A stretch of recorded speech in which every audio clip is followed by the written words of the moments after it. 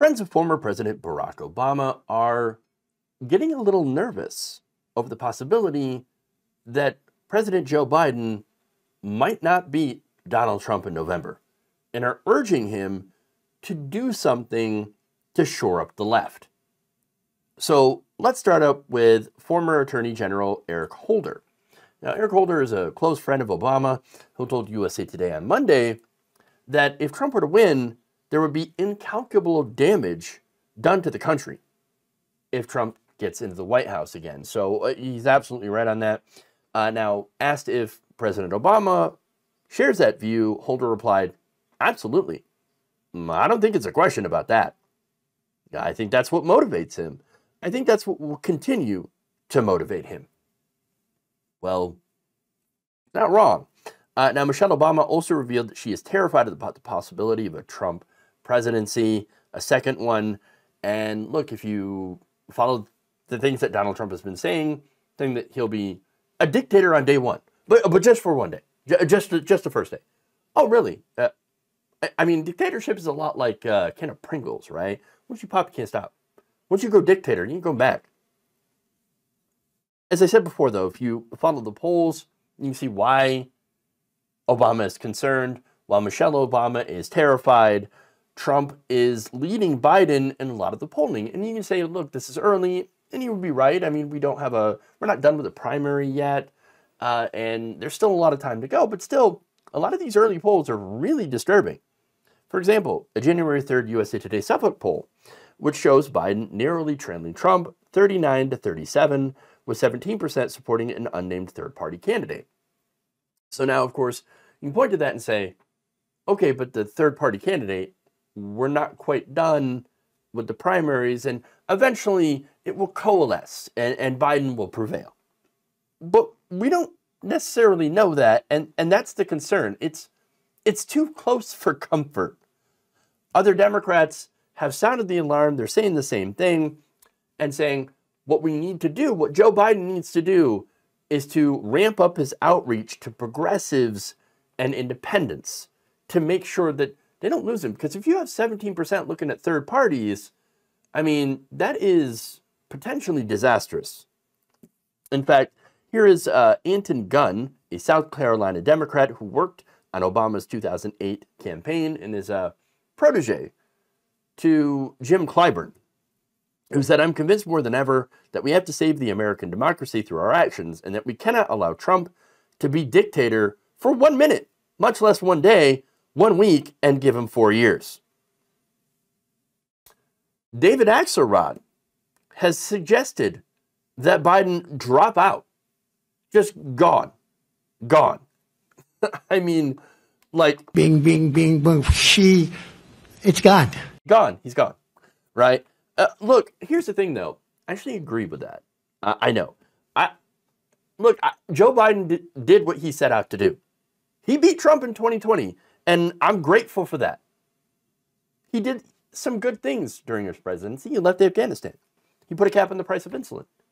Good things.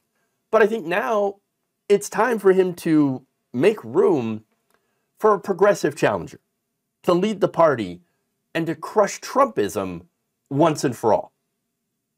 I just don't think he's the man to be able to do that. Now, is that going to happen? Well, that's the question, right? And it might come down to Barack Obama. Now, right now, according to sources close to the former president who spoke with USA Today, the former president is being tasked to tasked with coming to his former vice president's rescue, as polling shows Biden struggling with black, Hispanic, and young voters. These are voters under 35. Those people are essential to any Democratic victory. Who do you think led the Democrats to victories all over the country during the midterms? Young voters, minority voters. African Americans are the backbone of the Democratic Party. And Biden has lost a lot of ground. I think at this point, once again, uh, trying to reach out to these groups is going to be real tough for Biden. Look, you have a lot of younger people, a lot of minorities that are very appalled with Biden's unwavering support of Benjamin Netanyahu and the right wing government of Israel's indiscriminate bombing and ethnic cleansing campaign that's happening in the Gaza Strip. All right, you have tens of thousands of people that were killed, half of them, nearly half of them children. The death toll is so incredibly disproportionate to what happened on October 7th, which, by the way, nobody's discounting what happened on October 7th as being horrible. Of course it was. Absolutely. Now, the IDF, though, and the right wing government of Israel took what was a tragedy and is turning it into a genocide. That's horrifying. Members of the government had openly talked about forcibly relocating Palestinians out of Gaza into one, into one of the neighboring countries in the region. That is ethnic cleansing. And here you have Joe Biden steadfastly supporting the Israeli government in doing this. Ah, that's a non starter for a lot of people. Even people inside the administration, former White House officials, former, or, and, and of course, anonymous congressional aides, they've been putting out open letters saying, please, we need to be doing something to actually try to get a ceasefire in place, all right? A permanent ceasefire so that the death and the killing can stop. They've also said in these letters that they're, uh, you know, that, that they have been ignored. Their constituents have been ignored. Their phones are ringing off the hook and, and, and they can't say anything. You have some of those staffers who've had family that have been killed in Gaza. Uh, it's just a horrifying situation. So you have a lot of, one of these reasons is where a lot of progressives are saying, I cannot support this president anymore. I can't do it. That's really bad. That's really disturbing. And, it, and this is something that the Democratic Party is choosing to ignore, and, and, and they're doing it at their peril. Okay?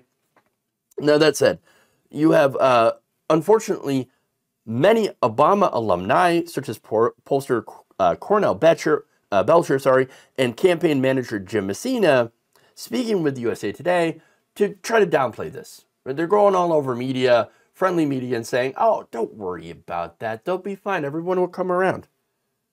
You know why? Because the, the Trump bad. Well, yeah, of course Trump bad. Yes, Orange Man bad. We know. We know that he will be the end of democracy in this country. This is a very serious issue. But again, at the same time, remember, they used that same message in 2016. And guess what? Trump still became president. D- don't mess with this, okay? If this uh, election is important as we say it is, and it is, then don't mess around with this. Get someone who's going to win. Please ignore it at all of our peril. Or I should say, don't ignore it. Look, even Representative Jim Clyburn, who was instrumental in getting Biden to be the nominee in 2020, was very concerned about the president's support. Again, Clyburn made sure that Biden was the nominee, that he would win Super Tuesday, that Bernie Sanders would not become the nominee. Uh, let's not forget about that, okay? Now, Gunn also said that Biden, uh, the Biden campaign is not engaging voters, particularly African Americans, on the urgency of 2024. Quote, what keeps me up is that if we only make the rational, thoughtful, and deliberate argument of why Biden is better, and don't recognize that there needs to be an emotional current through the campaign. Okay, now here's the thing Biden wasn't everybody's first choice in the primary. It wasn't mine voted for him in the uh, you know in in the in the general election, but I did not vote for him in the primary. And I think a lot of people can say the same thing. A lot of progressives, right? Uh, but now that said, Obama called in some favors. He convinced others to drop out before Super Tuesday, and of course, you had Clyburn's support uh, in South Carolina, very important primary, early primary state. That's what put him ahead of Bernie Sanders. Now it's kind of interesting how Clyburn is a guy who's concerned about Biden. And by the way, he should be because I think a lot of us are concerned. There's a lack of enthusiasm here. According to that same earlier Suffolk poll, 18% of primary voters said that they were very enthusiastic when asked to rate their excitement about Joe Biden on a scale from 1 to 10. They're not really excited to go out and vote for him. That's not a good thing. Look, I'm not excited about it, but I'll do what I have to do, of course. If Joe Biden ends up still running and, and winning the primary, yeah, I'll do what I have to do. I'll, I'll vote for him. Uh, but I think I speak for a lot of people when they say, I want a choice, a better choice. I don't want another Biden versus Trump. I'm not looking for it. And I'm not sold on the idea that he can carry a win a second time. Maybe I'm just being too much of a pessimist, but I, I think our democracy is too important to leave this up to chance. That said, if it comes down to it, I hope I'm proven wrong. Please prove me wrong. In situations like this, I would rather be wrong. I'll take the L gladly if I'm freaking out over nothing, right? I just think that this the stakes are too high. I I think that we cannot afford to fail. I think we can't afford to give Donald Trump four more years. Look, as the director of Suffolk's Political Research Center said this, quote, the bet for Biden right now is once we get to this, uh, when we get this to a binary choice, one-on-one, people will not vote for Trump. And that's a big gamble because that assumes that all the other third-party candidates will go away or their support will dissipate. I don't like that. I don't think there's a guarantee that this will happen, that they will, you know, like win that bet. In addition, he also said that more progressive leaning voters have expressed being fed up with the staleness of the choices that are being offered. Yeah. Again, this is concerning. And maybe I am being premature, pessimistic, but I just feel like with democracy on the line, we can't be too careful. And if that means getting Biden out of the race, replacing him with someone else, who we know can win uh, against Donald Trump, then that's what we're going to have to do.